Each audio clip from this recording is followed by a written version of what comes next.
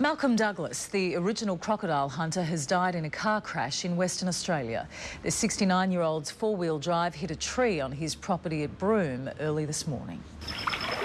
Long before Steve Irwin, there was Malcolm Douglas. In Broome in the 1960s, he went from crocodile hunter to saviour, campaigning for their protection. I wanted to save him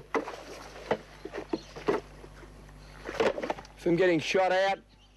I wanted to educate the public. As filmmaker, he shared his passion for adventure and the Australian bush, especially his beloved Kimberley. He was given a tribal name and taught the significance of traditional ceremonies. His pioneering 1964 documentary, Across the Top, the first of 50 specials. G'day, I'm Malcolm Douglas. The 69-year-old was still making television. How's that for a mackerel?